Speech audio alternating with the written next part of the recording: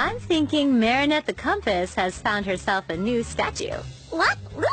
No way. You're being ridiculous. Uh, sure, he's cool and nice and everything, but there's only one statue that drives this compass crazy. Ho-ho, sailors! Let's give him a show whenever you're ready, Luka! You're going to need these, believe me.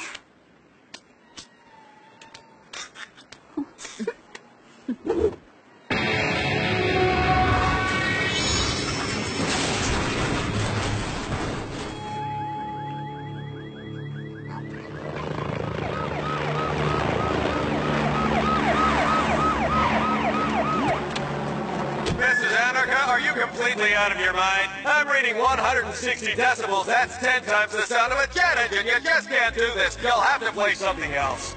It's the National Music Festival today, Officer Roger. My crew's allowed to play whatever they want. It's a music festival, not a noise festival. If you don't turn the volume down, I'll ban your concert altogether.